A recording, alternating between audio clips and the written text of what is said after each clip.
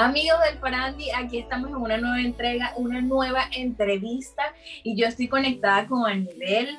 Yo quería, mira, ya, o sea, conectarme con esta mujer, saber que me cuente el chisme, el ex, qué pasó, qué no pasó, qué se dijeron, qué no se dijeron. Ani, bienvenido, ¿cómo estás? Hola, mi Pau, muy feliz de estar nuevamente aquí en el Farandi y bueno, aquí te voy a contar todos esos chismecitos que hay por ahí, pero más que todo que aprovechen y síganme en mis redes sociales arroba nivel oficial y escuchen mi nuevo tema Dime para que sepan de qué se trata todo esto y de qué vamos a hablar y, bueno, estoy muy feliz de estar aquí. Así es, bueno, ya yo lo escuché, ya yo vi el video, pero quiero que, bueno, que seas tú de primera mano quien me hable un poco de estos detalles de esta relación que pasó. Bueno, te cuento, hace, o sea, hace tiempo, no te puedo decir qué fecha exactamente, pero hace tiempo yo obviamente estaba pasando por una ruptura que me pegó, que, que creo que, o sea, ha sido la más fuerte para mí. Sabes que siempre hemos tenido ese amor que cuando se acaba, se rompe, es como que miércoles, te ha pegado muchísimo. Y bueno, en ese entonces me pasó a mí y estaba justamente en el estudio. O sea, no estaba en el estudio, estaba haciendo, haciendo música junto a Isaac, que es un queridísimo amigo.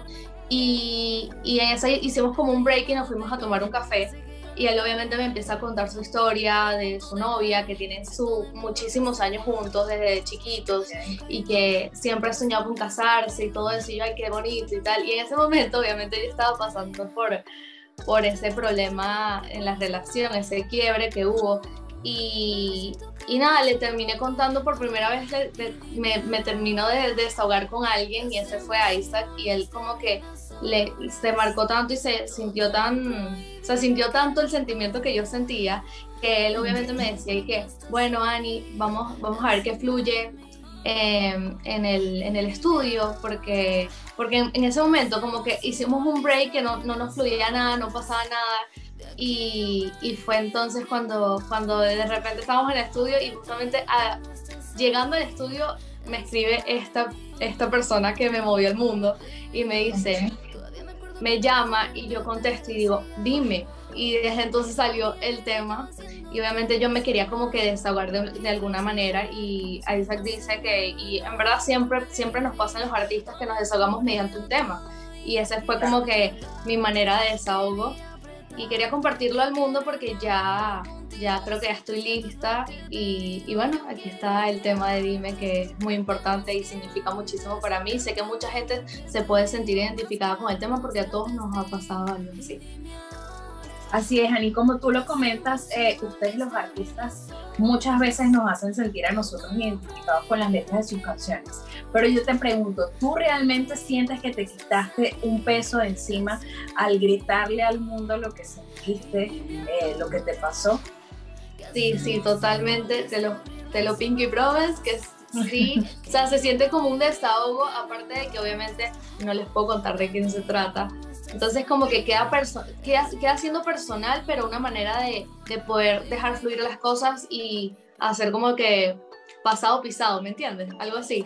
Como que de eso se trata y, y, que muchas, muchas de las niñas que me han escrito o sea, se pueden sentir identificadas al 100% y es muy bonito que conecten y, y, y puedan sentir lo mismo que yo sentí en ese momento.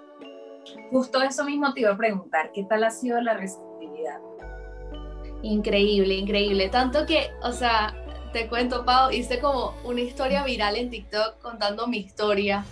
Y fue tanto la aceptación que muchísimas de las niñas han contado su historia también mediante TikTok. Y me parece que es una manera de desahogo brutal porque obviamente como mujeres sabemos que tenemos que expresar lo que sentimos de alguna manera y necesitamos una amiga y qué brutal que entre todas nos podemos ayudar y apoyar en esta circunstancia y me pareció una muy bonita manera de, de poder llegar a mis fans y a la gente este, mediante esta red social. Sí, así es, ah, eh, mediante esta red social, y bien como lo dices, digamos que ahorita eh, se ha visto esto mucho de los challenges, pero son con bailes.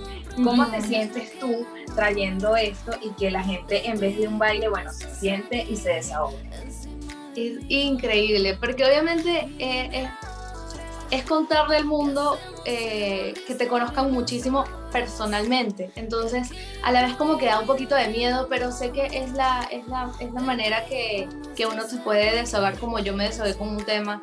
Ellas también como que se sienten identificadas y y cuentan su historia y es muy bonito, es muy bonito porque yo, bueno, yo les escribo y sé que hay otras niñas que también les escriben y le dicen, me pasó o estoy pasando por lo mismo, qué brutal que te desahogaras de esa manera y es súper lindo, a mí me, me, parece que fue una manera de, de expresarse muy bonita. Estamos hablando del tema, pero no podemos dejar de hablar del video. Una vez más contaste con Karen Bompard y quiero que me cuentes un poquito de esto. O sea, en este video no te vemos como, wow, tan lanzada como en esos últimos, sino un poquito más calmada. ¿Cómo te sentiste en esto? Haciendo bueno, mi Pau, te cuento que este, mediante esta cuarentena eh, he tenido como que esa, esa inspiración, esa musa como que activa, por decirlo así. Entonces como que decidí sentarme y aterrizar todas las ideas y todo lo que quiero hacer musicalmente y personalmente, tanto video como lo que quiero transmitirles a todos ustedes. Entonces em, de repente Karen me dice que, pero ¿por qué, no, no hacemos otro concepto? ¿Por qué no hacemos algo diferente? Y yo, me encanta porque de esta nueva etapa, eh, dime es como que el comienzo de una historia, de un viaje, como lo digo yo, porque tienen que, o sea, quiero, quiero obviamente contarle todo lo que viene, pero no puedo. pero pero eh, este video es muy lindo, aparte de que transmite, transmite de que las chicas siempre estamos unidas, como lo dije en TikTok, ¿entiendes? Es como que la manera de desahogo. Em, el video se trata de que obviamente yo canto mi historia y la, y la otra chica también se siente igual.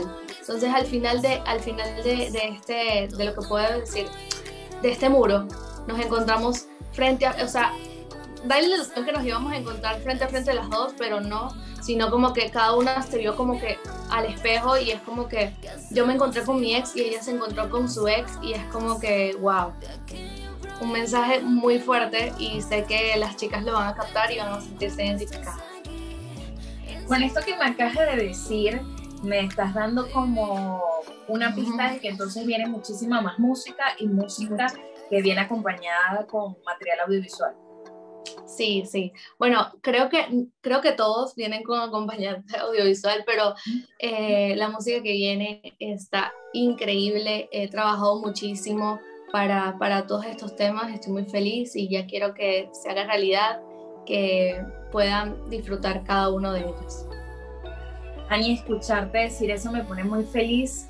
Eh, creo que, que, digamos, te vengo acompañando yo desde mi punto, desde el momento en el que lanzaste tu primera canción y ver cómo has ido creciendo me contenta mucho. Desde acá, bueno, las mejores vibras, muchísimo éxito y que se vengan todos esos lanzamientos que nos hagan sentir unidas a, a nosotras las chicas. Ay, me encanta. Muchísimas gracias a ti, mi Pau. Eh, gracias al Farandi por abrirme este su espacio para poder realizar y expresarme y hacer esta entrevista brutal contigo. Te quiero muchísimo y espero verte muy pronto. Y ya sabes, no se pueden perder, dime. Esperemos que sí, Ani, te mando un beso y bueno, nos estaremos viendo pronto entonces. Claro que sí.